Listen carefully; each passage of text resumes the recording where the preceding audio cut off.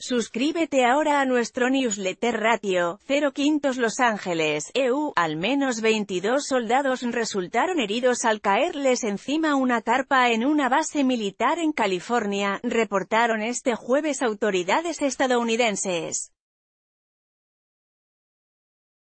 Un helicóptero UJ-60 Black Hawk aterrizó en la base militar cerca de las 10 horas, tiempo del centro de México, de este miércoles y el viento causado por el rotor generó que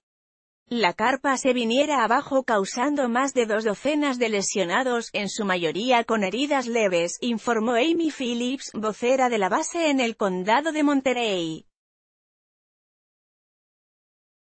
De los 22 heridos la mayoría fueron atendidos en el lugar del accidente y solo cuatro fueron trasladados a un hospital cercano, sin embargo, no se aclaró su estado de salud.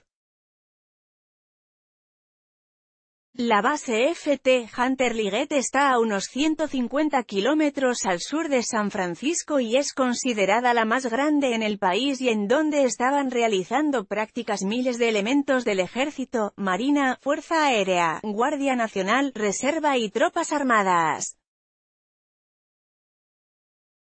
NTXIJRMMMMM, calificar la nota, 0 rating, yo expreso, repórtanos por WhatsApp 662-1262721X resultados de la encuesta.